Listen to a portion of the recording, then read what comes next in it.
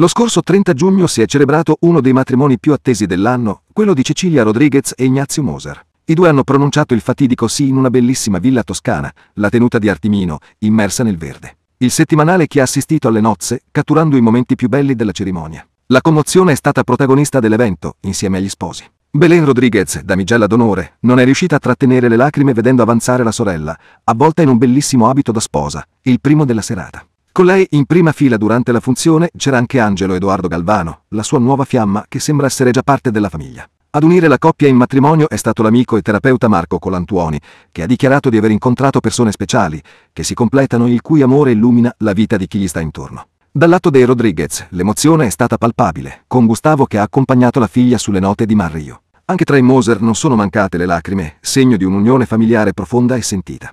La cerimonia ha lasciato un'impronta indelebile nel cuore di tutti i presenti, segnando un nuovo capitolo nella storia d'amore di Cecilia e Ignazio.